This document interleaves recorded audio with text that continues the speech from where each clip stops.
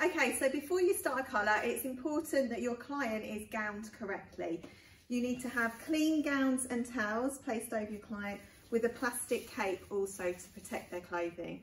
The stylist should have relevant PPE. This is in the form of an apron, gloves, and the option of a mask and a goggles or visor. Currently, during COVID-19, the stylist is required to wear these, as is the client is required to wear a mask. As a stylist, always have your trolley set up with all the things that you're going to need for that service and have that in a position to reduce fatigue and injury to yourself. Now, before any colour can carry, be carried out, there are some fundamental tests that need to be carried out. The first one is a skin test and this needs to be carried out 48 hours before your service. And to do this, a small piece of colour is applied behind the ear and reactions that we'd be looking for which would stop the service from being carried out would be redness, itching or irritation of that area. If the client doesn't have a reaction, then you're safe to proceed with your colour. It is the law to do a skin test and everybody has to have a skin test. The other two fundamental tests that you should carry out before all colours, the first one is an elasticity test and this is carried out by taking a damp piece of hair between your thumb and forefinger and you are stretching and seeing if the hair returns to its original length. Now, if you stretch the hair and it returns to its original length, this displays that the hair has good elasticity and the internal strength, the cortex of the hair is in good condition. If you were to stretch the hair and to return it to its original, um, it doesn't return to its original point, this shows that the hair has poor elasticity so that means the cortex of the hair is in jeopardy. So any colours that you use could cause further damage, particularly if these are colours are alkaline based like permanent or lighteners.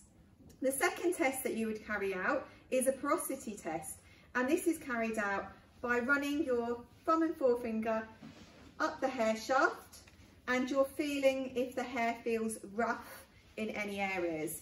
Now often towards the ends of the hair, the hair could be feel a bit more porous than it does at the root area. Now this is really important when colouring hair because if the hair has poor porosity, that means that area of the hair may absorb the colour much quicker. So that area, part of the hair could take the colour quicker or it could give you an uneven colour result. So to help this, you can apply a porosity leveller to those areas which are damaged or have poor porosity to give you a much more even result. So they're the three key tests that we should carry out before all chemical services. Okay, so for my client today, she's coming to have her root regrowth. So this client had a colour six weeks ago and her roots have grown out. So she, she's coming in today to predominantly have that area root retouch, we call it. So first of all, I need to assess what she currently has on her hair. So I'm using the colour chart to help me determine this. So in my colour chart here, I obviously have my depths, just here, my basics, and then I can look at all the different tones according. So I'm going to assess what she has on the ends of her hair because she can't remember and there's no client records. So first of all, I'm going to try and find the tone. Now looking at it, it's quite warm. So I can see it's not golden, it's got a little bit more warmth to it. Um, it's not quite red, it looks more mahogany. So I'm going to go for something that has some 0.5 in it, so a mahogany. So looking at my colour chart here, I can see that actually this colour matches around about a 7.35, okay? So 7 being my light blonde, or my blonde, with some gold and some mahogany in it, so 7.35. So I've shown my client that colour and she says, yeah, that's the colour she has. So that's what we're going to be using. Now I need to determine what her root colour is though. Am I going to be lifting her colour or am I going to be staying on the same depth? So going to my naturals page, I'm going to determine what she is naturally by looking at her root area. Okay, so you'd be looking into her root area and seeing, you know, is it darker? Is it the same level? Now, when I look at her root area, I can see that naturally she's a base six. Okay, so I'm going to be using a 7.35, so I'm going to be lifting one shade up on this client. So she's a six, I'm taking her to a seven. So So I only need to use a 20 volume peroxide with that because I'm only giving her one level of lift. So I have mixed up in my bowl 7.35 with 20 vol. I'm using Majirel, so it has a mixing ratio of 1 to 1.5. I've mixed up half a tube of colour and then I can always remix if I need any more. Most um, half, you know, she's got sort of, um, she's not got really abundant hair, it's not sparse, it's sort of in the middle and normally half a tube of colour is sufficient to cover um, that amount of hair. But should I need more, I'd go back and mix up more. I would never over mix, you know, I wouldn't mix a whole tube because then I risk throwing some away um, and that doesn't help with our sustainability. So how we're going to start our root regrowth is, it is just the roots. So it's about um, a quarter of an inch in the root area. We're going to section the hair all the way through the middle. And we're going to apply our colour, first of all, down that middle section, starting around the back section. Okay, so we're only applying to the regrowth area. You need to be really careful that you don't overlap that colour onto the existing colour because that can form something called colour banding and then you get an uneven colour result. So you're just applying it just to where their roots have grown. So like I say, this is about a six weeks regrowth on this client here.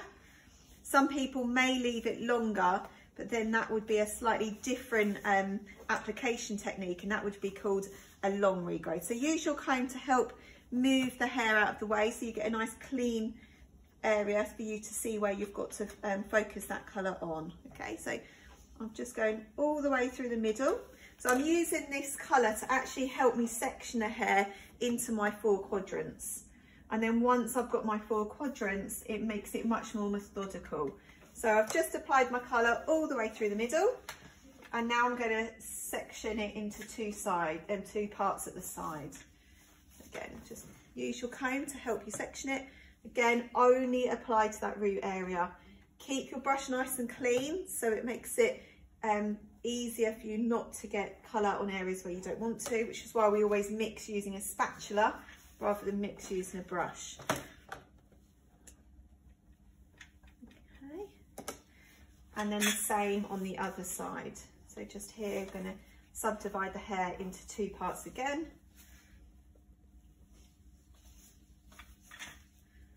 and apply to that root area yeah again. So remember only the roots. So this client before she came in today she had her skin test done to make sure she wasn't allergic to the color and I checked that um, that skin test had had no reaction. And then before I proceeded to do the color I carried out that elasticity and that um, porosity test that we talked about okay so I've now got four quadrants and it's been divided by my color I'm now going to start working on the regrowth area, first of all on my back two sections and then my front two sections. So take nice small sections using the end of your comb or the end of your tinting brush and apply like I said before only to that root area. So make sure you really push that into the roots and work down that section. So when you take up the next section, you should still be able to see some colour from the section before. So if you're taking too big a section, you may risk um, missing some root area. So apply that onto the roots. So bear in mind the different hair types that you may have. So type 1 hair we know is very resistant. So we may need to increase our development time. So our, our manufacturer's development time is 35 minutes, but we may need to increase that for type 1 hair that's resistant but we may decrease that time for types hair types three and four, um, which take very quickly to colour. So this area is your root, so it's, it's fresh hair. It often doesn't have poor porosity, so we don't need to apply a porosity leveler to the root area. But when we come to do our fade technique on the ends, we may well need to use a fade, a leveler to help get an even result with that. So I'm nearly through my first section.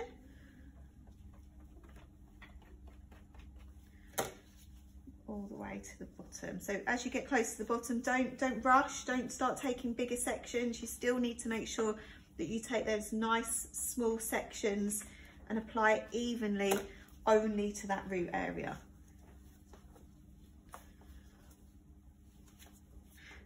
Try and be nice and clean with your working, so don't get the um, colour all over the client's ears and neck.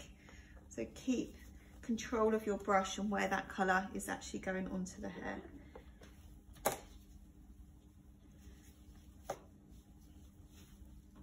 Okay, so once you have finished the root section on that piece, you're then going to move to the next back section and you're going to repeat exactly what we did here through the next section. So I'm going to proceed to continue putting that colour on.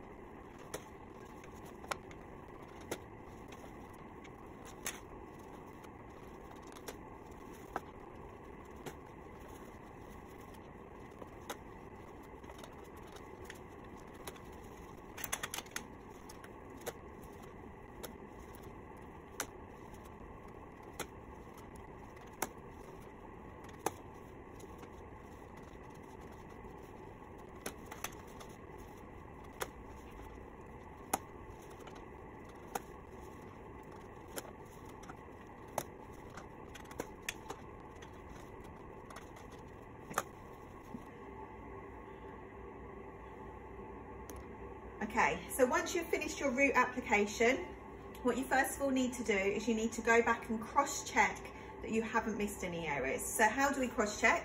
So how we cross-check is if we took our sections in this angle, we would cross-check the opposite way. So we would literally just go back and just pull our hair apart on the opposite direction to make sure that we hadn't missed any root areas. You do that all the way through the hair because if you miss one section that could be one odd bit of colour. Now if you do spot an area that you've missed throughout then you would just go back and then you would just reapply to that section. So just cross-checking in the opposite way. Once you've cross-checked and you're 100% sure that um, there is colour everywhere, you would go round and you would clean your client's hairline with a damp piece of cotton wool or a damp piece of tissue. Okay, so you're just going round and making sure that there's no colour touching any of their um, their skin, ears, nape area, anything like that. Okay. Now for some clients, this is all they have. They just have the root area because they may still be happy with the colour on the ends of the hair. But for some clients, they may have been out in the sunshine, they may have been doing some swimming, and they may have done something that has caused the ends of the hair to fade, or they may have just lost their shine. So what we can do at this stage is we can offer a fade technique service, which will refresh that colour. So depending on how much fade you have on the ends of your hair, depends on which fade technique you would use. So there's three fade techniques. There's a minimum, a medium and a maximum fade technique. So the minimum is for that client who has only just lost a little bit of shine, but no depth. And how we do that is with the remaining colour in our bowl, we add 15 mils of warm water and we apply that during the last five minutes of your development. If the client has a medium fade, so this means that they've perhaps lost one depth, so they, they, their colour doesn't look like 7.35, now it looks more like an 8.3, um, or they've lost that tone, so they've lost that mahogany warmth and it's gone more ashy. That would be your medium um, fade technique. So for a medium fade technique, again, we add 15 min mils of warm water to the bowl and we apply that for the last 15 minutes of the development time. And then we get a client who has maximum fade. So this is the person who's been on holiday to Barbados or they've spent all, they spend a lot of time outdoors and their colour has faded completely. So their depth now, instead of being around a 7.35 on the ends, their hair is, is nearer, um, let's say, a 9 or a 10. So they've got maximum fade. So what we then do, if for that client, is again, we apply 15 mils of warm water to our remaining colour, but we apply that directly after we have applied to our root area. So because it has the water in it, it dilutes it slightly. So it's obviously not as strong, so we're not going to end up sort of with a darker colour on the ends. So I'm going to say today that my client has a, a minimum fade. So I'm going to pretend now that we're actually at 30 minutes development time. So I'm now going to apply this colour to the ends of her hair for the last five minutes because as you can see my client doesn't have much fade at all okay so, so for some clients you won't need to do this it's only if you feel they have got that that fade now once you apply your water to the bowl you will find that the colour is quite watery so be careful not to drip it and then you're literally going to apply that through those mid-lengths and ends and you're going to work that into the hair some people do this at the basin because it is quite watery um, that's personal choice. So you're just going to work that through. And because it's got the water in it as well, it actually makes it really, really easy to soak into the hair. So just section by section, you're going to apply that through those mid-lengths and ends and work it in with your hands. And then, so I'm going for a minimum fade technique, so I would just leave this on for five minutes. And what that will do in them five minutes, it would just gently refresh that colour on the ends of her hair, bringing that shine back, bringing that tone back to her hair. But remember, if it was a medium or maximum fade, it would either need 15 minutes before the end development or the full development time. So I'm just going to work through, again, always start at the back of the hair because it's the most resistant area and you're going to work your way around these four sections. When you finish your application, again, go around with your damp piece of cotton wool or wet tissue and wipe around the hairline area and make sure that there isn't any um, colour on their skin to prevent any skin staining. Now this colour works through oxidisation and it needs oxygen to get to the colour. So what I, we mustn't see you do is that you plaster the hair flat on the hair. Make sure that the oxygen can get to all parts of the hair. So let it be free, let, let the hair sit sort of quite freely over the head. So I'm going to quickly whiz through my last few sections with my fade technique. And then, like I say, this one would be developing for five minutes before my colour removal.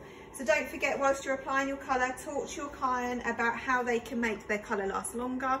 Talk to your client about shampoos and conditioners that would be suitable for coloured hair. Talk about, you know, if they do have a job that's outdoors, talk about UV protection. So our 10 in 1 spray isn't only a great porosity leveler, but it also has great UV protection, protects it from heat. Um, and also perhaps if they do work outdoors, talk about perhaps using a hat as well to stop the fade on the hair. Uh, if your client's a swimmer, um, you may want to suggest using a swimming hat to prevent the fade.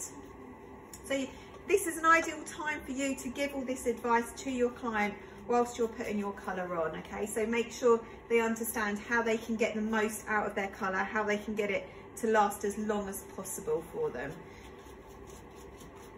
Don't leave all that advice to the end because by the time you're coming to the end of your service, your blow dry following your colour, your client may be in a hurry to get to their car. So use the, all, the whole service time that the client's with you to make sure that you cover all of that aftercare advice. It's so, so important that we educate them on all of those matters. So you can see it's much easier to apply with the water in it. But it is very, very watery. So, you know, be careful you don't get it onto the floor, etc. So you can see here, I've got quite a bit of staining just where it's been flapping around. So I'm just going to clean that up as I go. And I've got my last section now to apply to. So like I say, we don't want it sitting on their face, the colour, but we do want to make sure that it's not plastered down to the head. We need to make sure that that oxygen can reach all parts of that hair so that the colour can oxidise properly and evenly as well. So already that root colour will be working. It's got the heat from the scalp to help that start working.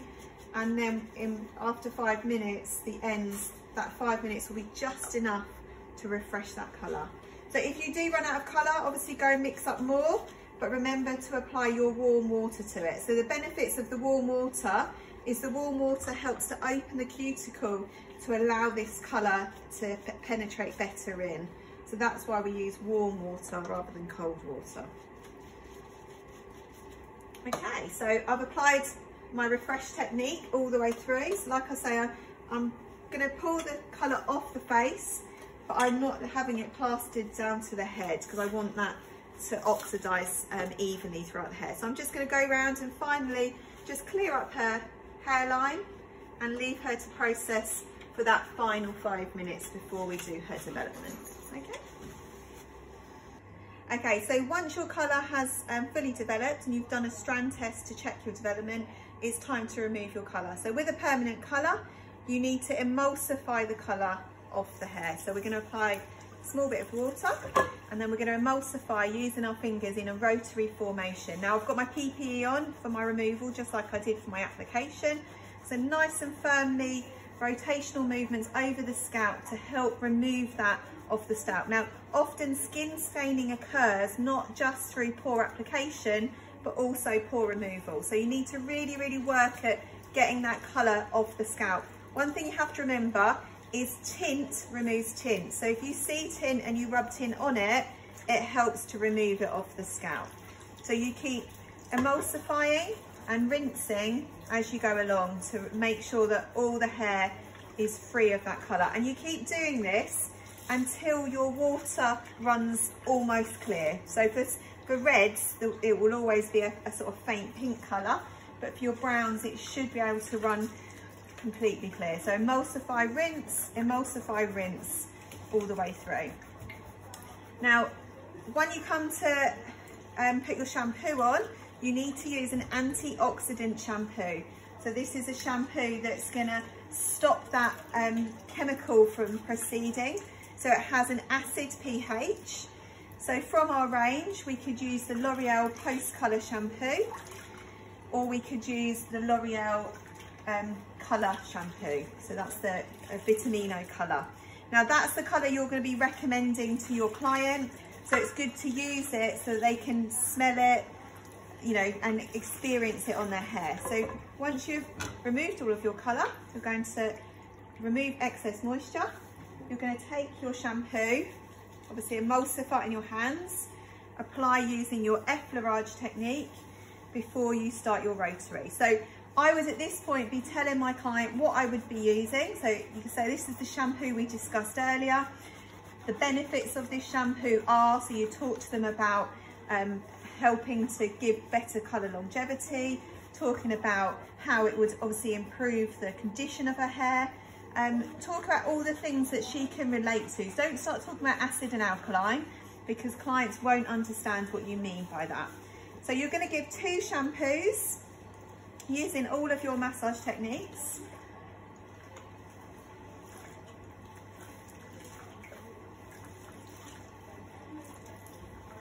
So I'm going to do my second shampoo now to make sure we get all of that colour out of that scalp. You don't want to leave any residue on their scalp because that could cause irritation and it could also affect the next part of your service. So really, really important that all of that colour is removed off that scalp.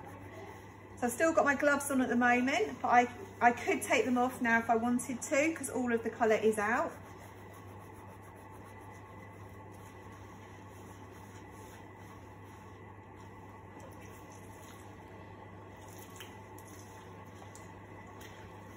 And then finally, I'm gonna finish with my conditioner. So just like my shampoo, I'm gonna be using what I'd be recommending to my client.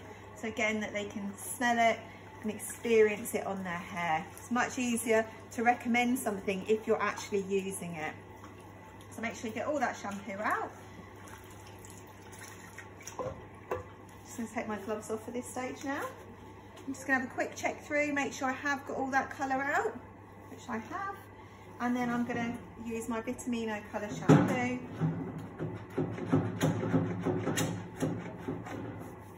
And I'm going to apply that using my effleurage technique, okay? So you can disentangle that with your fingers at this point, or you could get a detangling comb if you wanted to. So bear in mind their hair type. So some hair types um, can be, might, might require more conditioner. So types three and four may require more conditioner than types one and two. So, you know, whatever you need to help disentangle that hair. Now the colours actually left my client's hair feeling really lovely and soft and conditioned. It does actually feel really, really lovely. Don't forget to tell them about the conditioner. Um, and also if you're going to be using a leave-in conditioner, make sure you tell them about that as well. Okay, and then rinse your conditioner out of the hair. And then you're finally gonna towel dry. So notice I have all that I need right beside me. So it's all accessible, okay? And then you would towel dry your client's hair, ready for the next service.